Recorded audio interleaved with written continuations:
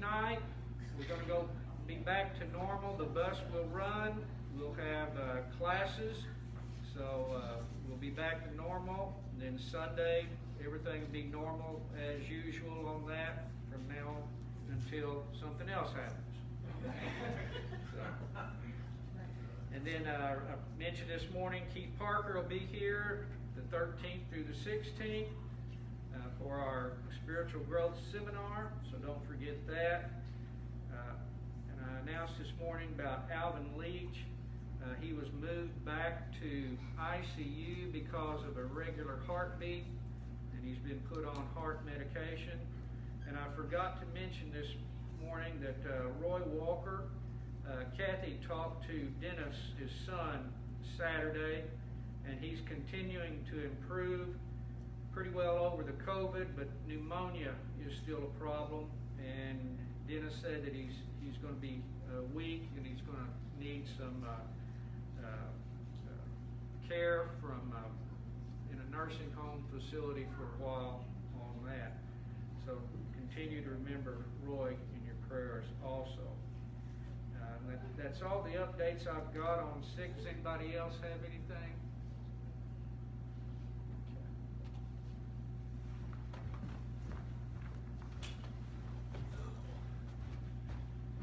If you would bow with me as we begin our services. Dear Heavenly Father, we come before you thankful and grateful for this opportunity to gather to study your word in fellowship amongst brethren. We ask that you continue to be with those that are sick, that are in the hospital, that are dealing with COVID and um, other illnesses that are uh, keeping them from us here. We ask that you continue to be with us all as it's, it's just a time of turmoil and confusion in our country and in our world. And I ask for your strength that we may be a shining light and point people in your direction during this time because we know that you're the one that can heal us and, and make things right. I ask tonight as we go through this study that uh, we turn our attention to you and we can apply it as we go through the next week. Keep us all safe as we leave from here tonight, but we ask that uh, you would bring those that are away from us back to us when they can. Just be with us as we go through this study. In Jesus' name,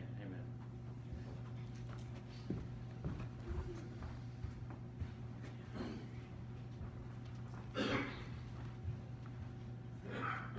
Let's play sing. You are Lord of creation and Lord of my life, Lord of the land and the sea.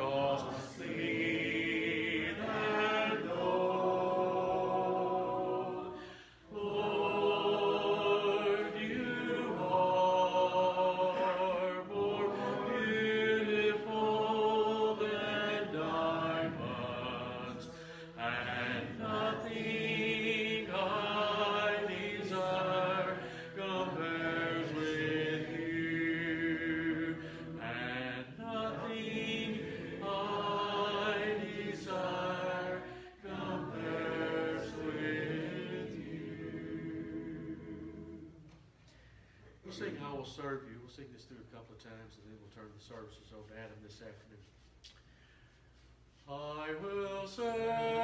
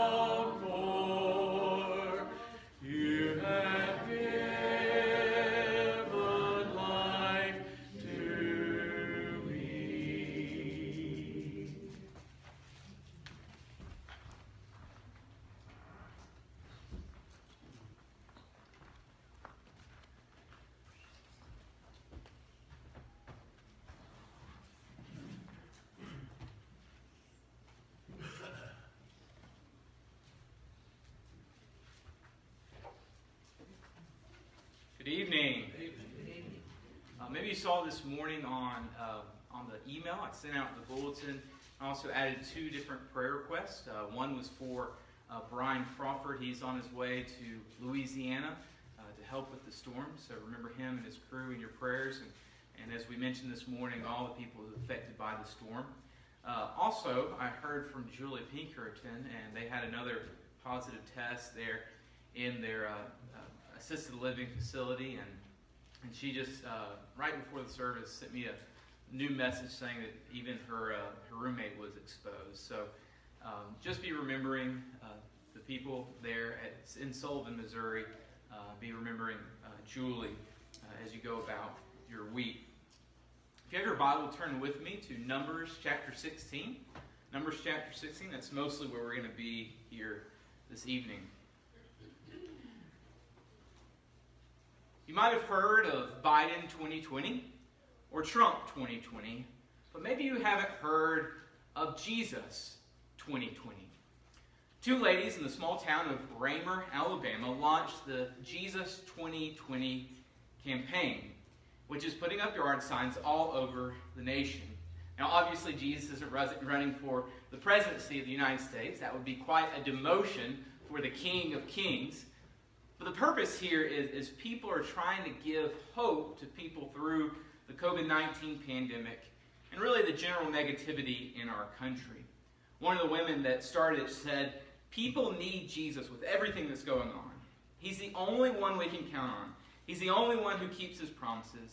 He's already the winner. With the help of Facebook, the movement has spread. More than 5,000 signs have been shipped to states like California, New York, Ohio, Pennsylvania, and Texas, all according to the YellowHammerNews.com. This got me thinking how awesome it would be to have Jesus as our president. Wouldn't that be awesome? I mean, he was so, he would be someone that you could always trust is going to make the right choice. He would be someone you could trust would always make the right decision and or take the right action.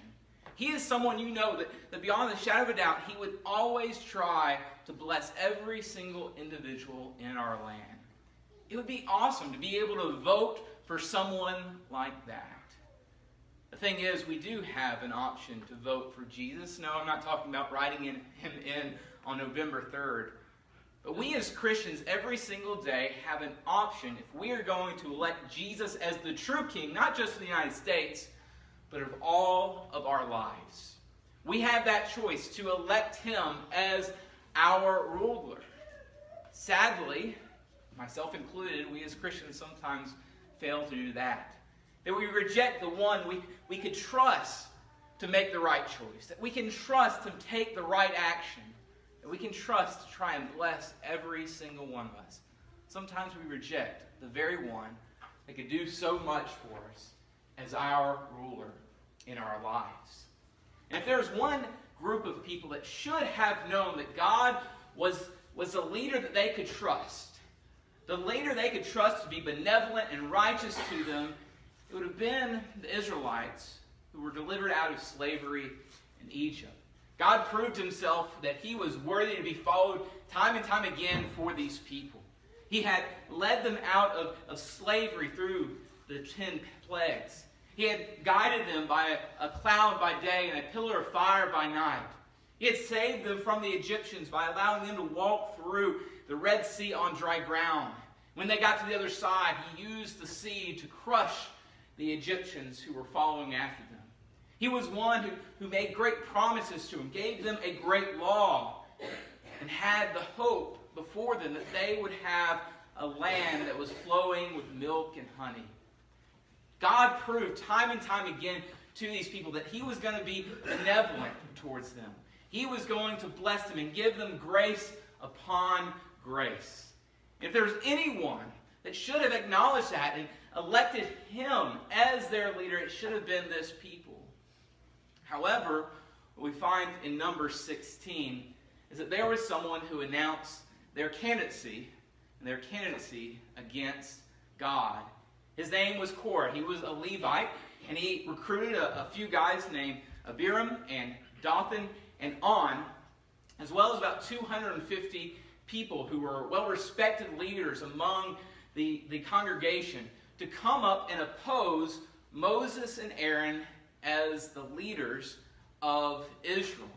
These were their complaints. Their complaints, first of all, was that Moses and Aaron had exalted themselves over the nation. They made the case that every single one of us is holy before God. They are just as holy as we are, and they have exalted themselves over the congregation. They have exalted themselves to be rulers of us all. That was the first complaint. The second complaint they had against Moses and Aaron was that Korah, though he was a Levite, he was not a part of the priesthood. Not every Levite was a priest. Some worked and ministered in the tabernacle and later the temple. But the, the idea of being a priest was only left up to the sons of Aaron. So Korah was not a son of Aaron, so he was not a part of the priesthood. But he thought he should have been.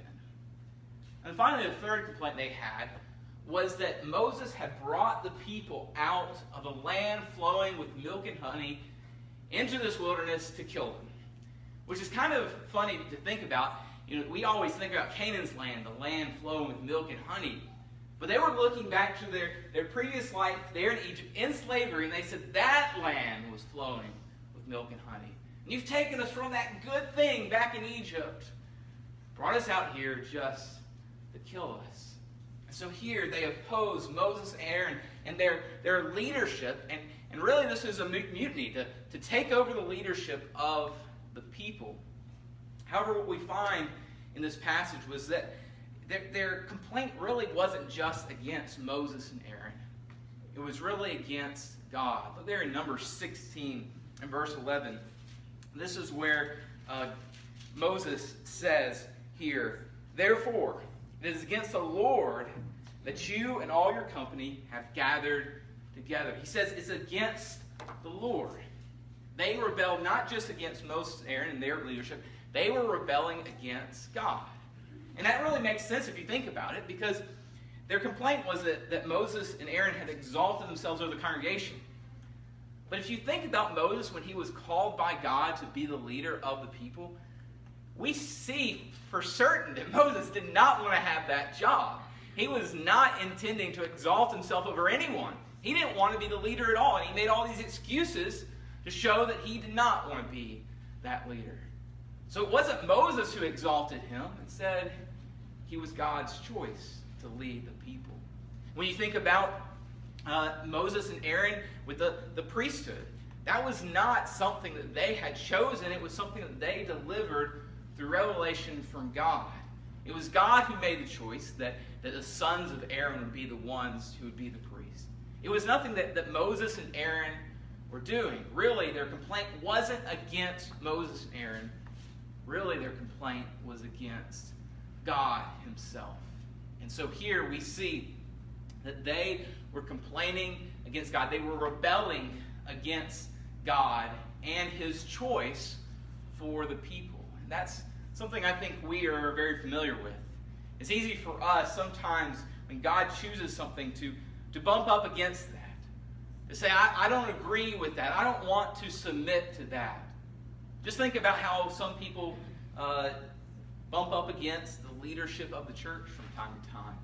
That sometimes they don't want to submit to the elders who are living in a very individualistic society. We, we don't submit ourselves to their spiritual direction. We say, well, we can just do it on our own. We don't need them. What we're doing, we're, we're saying that God's choice, that, that godly leadership is not for me. Some in our day and time have pushed back against the, um, the male led uh, assembly of the Lord's church. People have pushed up against that, that men are chosen to be the leaders in public worship. And so they have pushed up against that and said that men aren't the only ones qualified, that women can also lead as well. Sometimes we bump up against that when God shows us certain uh, qualities and characteristics of elders and deacons. And, and sometimes we, we kind of clash with that and we think to ourselves, that's not right that God would disqualify people who don't have children or disqualify those who are not married. And so we're, we're upset that God made a choice.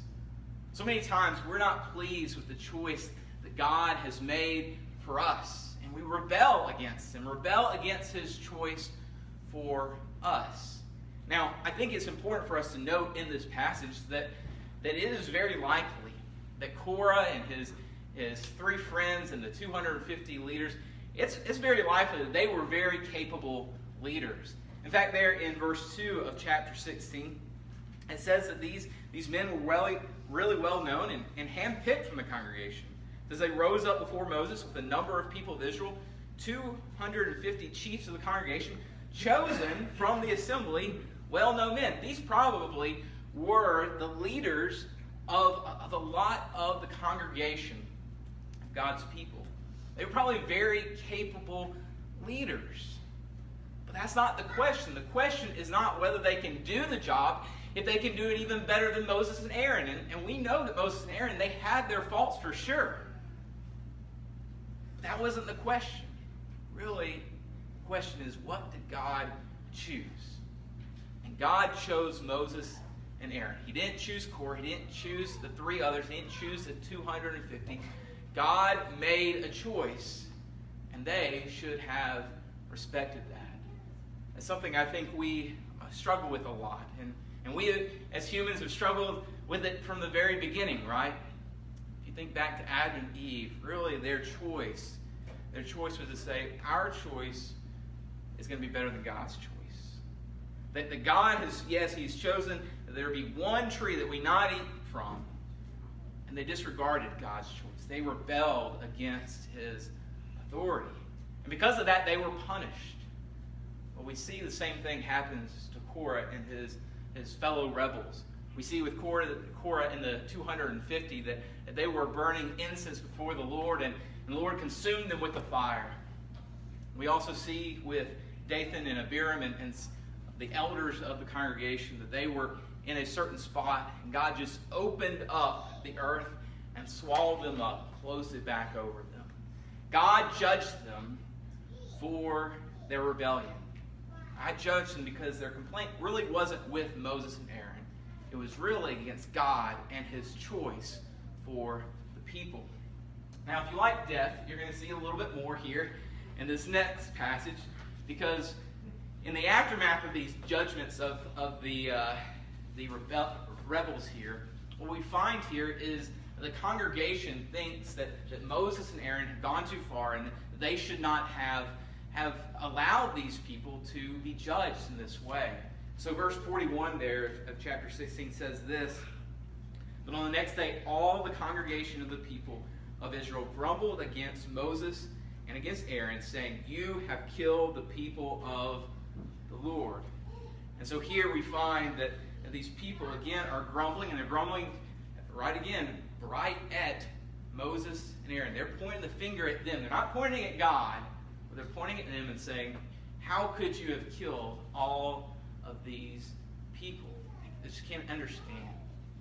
And so here what we find is that that again, they're not just rebelling against God's choice, but in this instance, they're they're rebelling against God's action.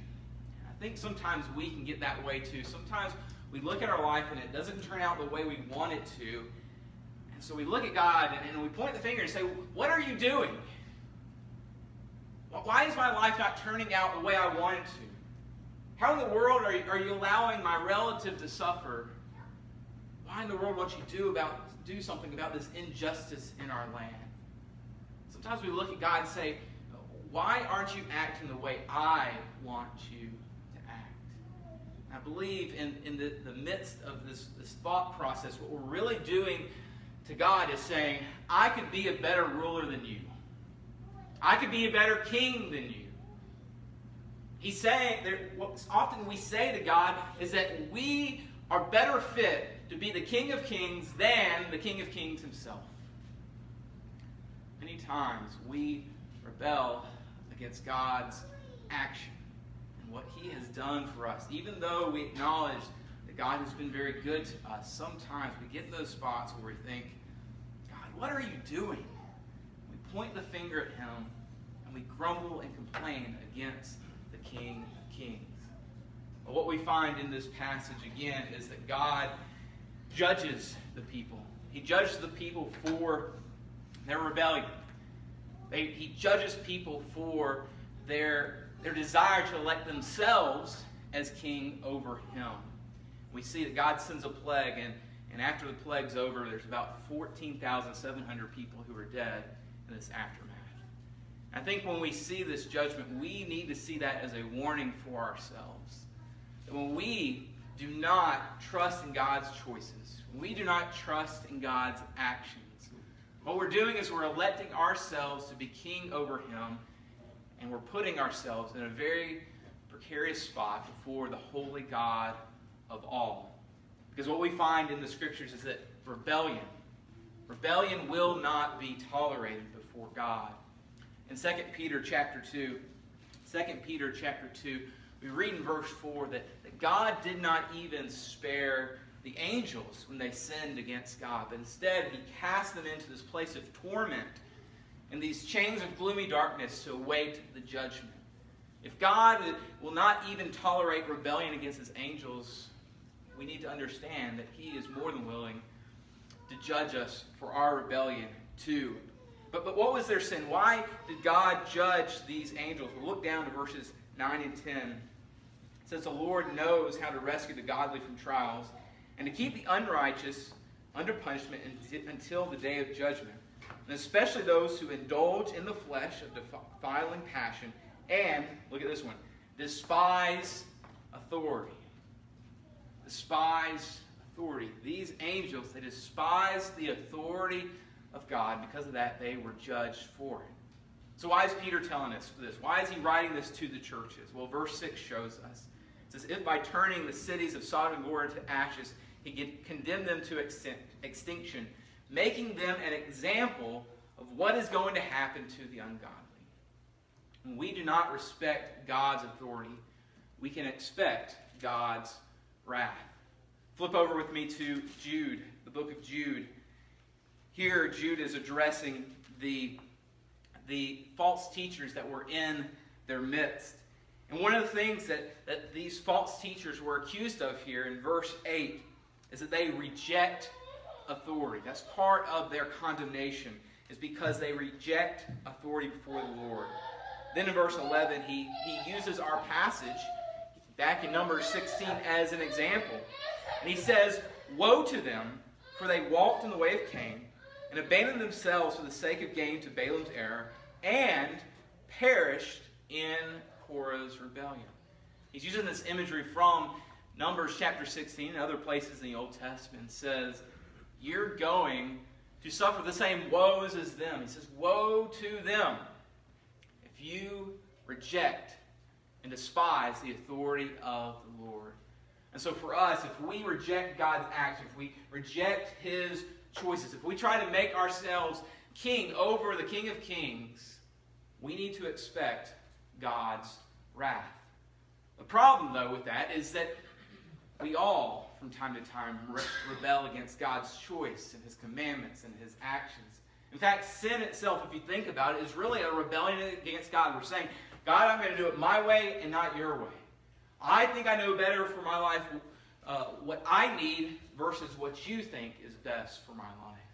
So essentially, every single sin is us rebelling against the Lord. And we need to understand that we deserve God's wrath because of that. However, even in the midst of being rebels, there is hope for us. Just as there was hope there in Numbers chapter 16. Look there in, in verses 46 through 48. 46 through 48. We see that Moses and Aaron sees the plague going on around him in the congregation. And look what they do. Starting in verse 46, it says, Moses said to Aaron, Take your censer and put fire in it from off the altar and lay incense on it and carry it quickly to the congregation and make atonement for them. For wrath has gone out from the Lord. The plague has begun. So Aaron took it, as Moses said, and, and ran in the midst of the assembly. And behold, the plague already began, already had begun among the people. And he put on the incense and made atonement for the people. And he stood between the dead and the living, and the plague was stopped.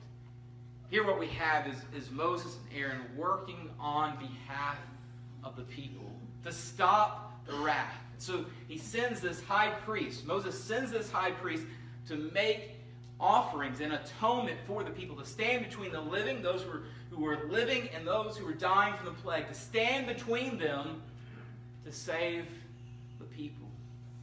Me, that just reminds me of our great high priest, Jesus Christ, who stood between eternal life and eternal death. He stood there so that he could save us, save, save us from our own wrath of God that we deserved, save us from the plague to come. And there he made atonement by dying on the cross for our sins. What's even more significant about this is just who Moses and Aaron and, and later Jesus did this for. If you think about Moses and Aaron, you have this, this congregation. And verse 41 makes it clear it's all the congregation. Everyone was against him.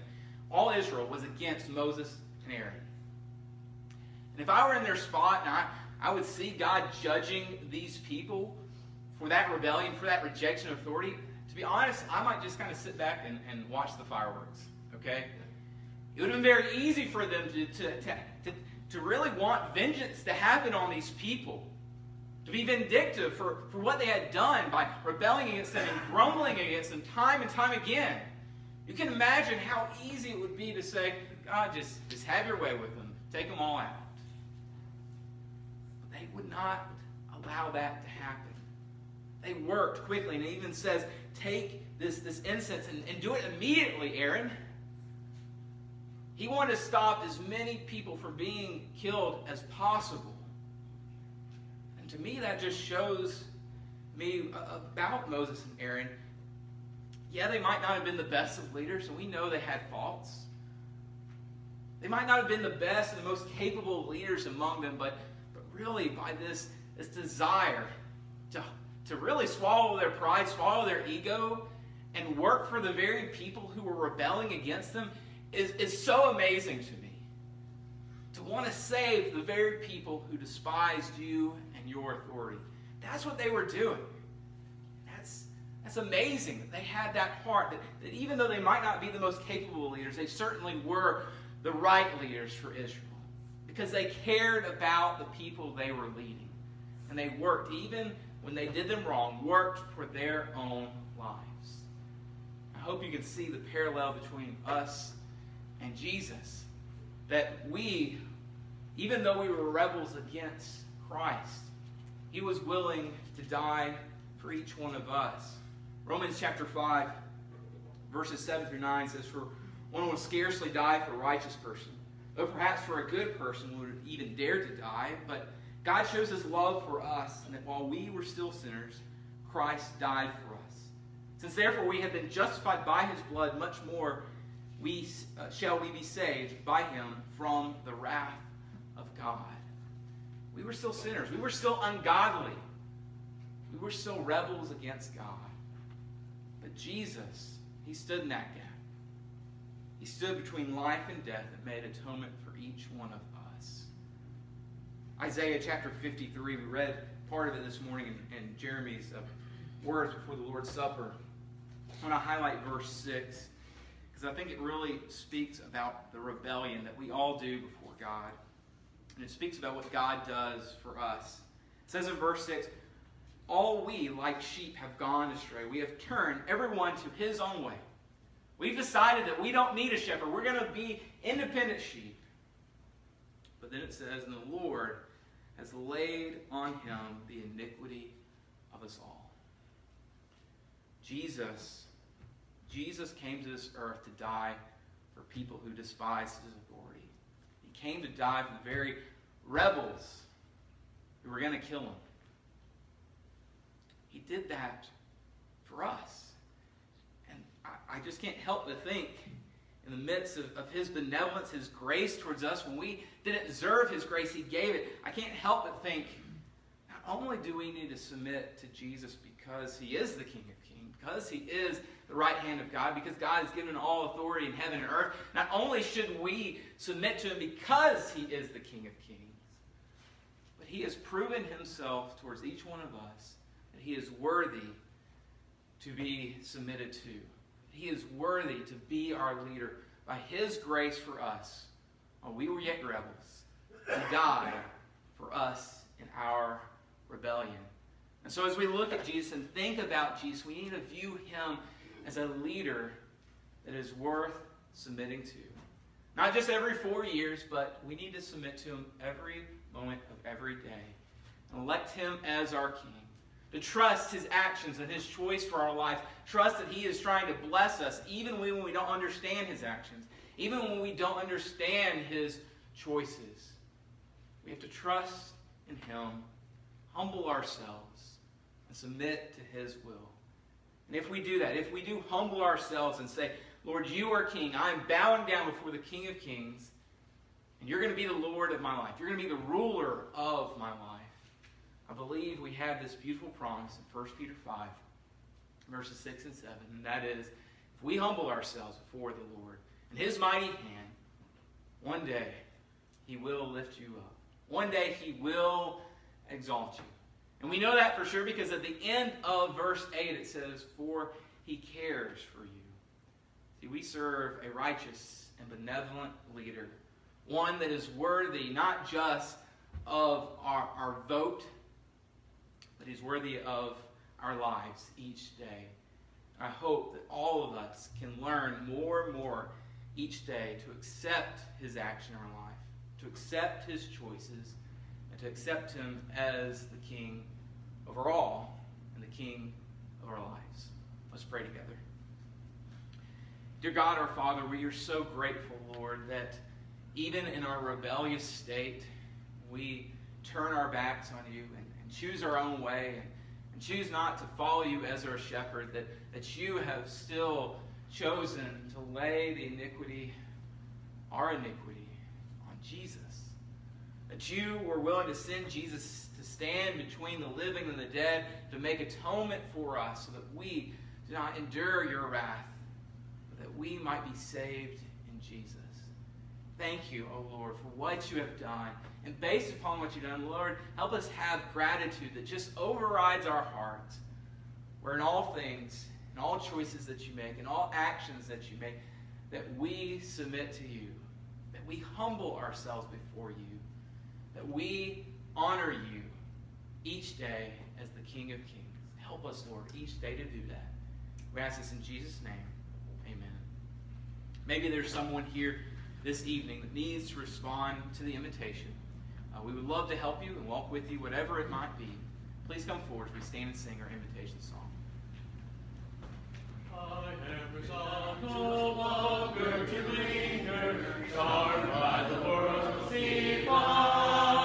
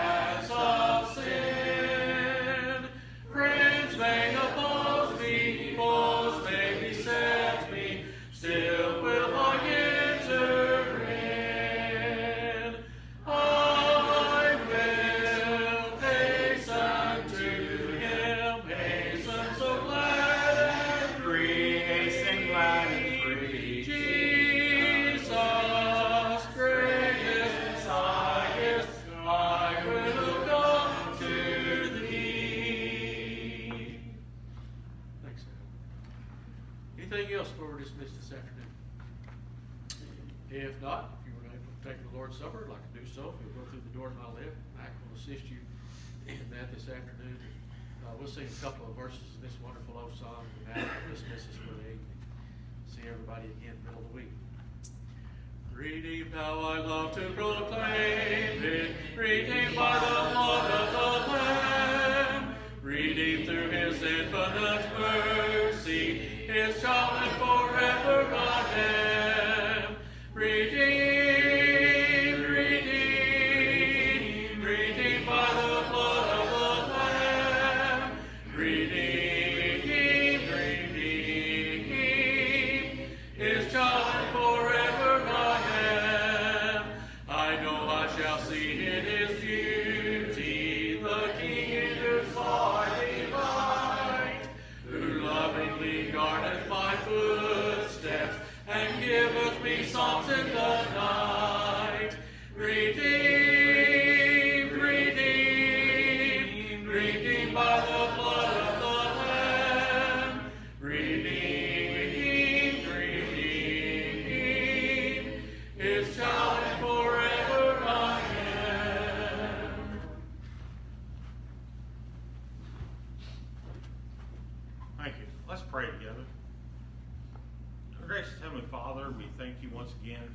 opportunity to come together and worship you, dear Lord. We thank you that we're in a nation that allows us to do this, dear Lord, and we pray that, that this may continue, dear Lord.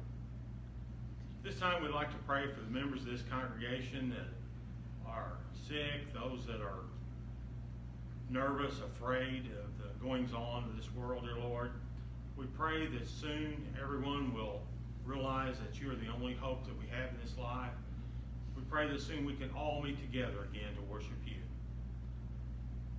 Lord, as we leave here this evening, may we continue to keep our thoughts upon you throughout this week, that people that we meet, we come across in this life, will know that we are Christians by our actions, not just our words.